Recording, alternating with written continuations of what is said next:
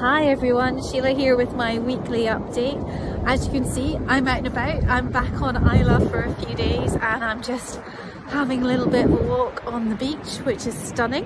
Um, I think I'm the only person here, which is even better. I'm enjoying getting some fresh air.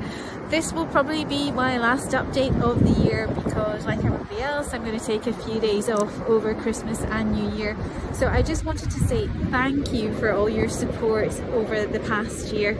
Um, it's you, you, probably can't imagine how much it means to get just a like or a comment um, on a share on Instagram and Facebook. It really means a lot to me. So thank you all for doing that. And to those of you who have bought my work this year, thank you so much for that as well and supporting my artist practice. It means a huge amount to me.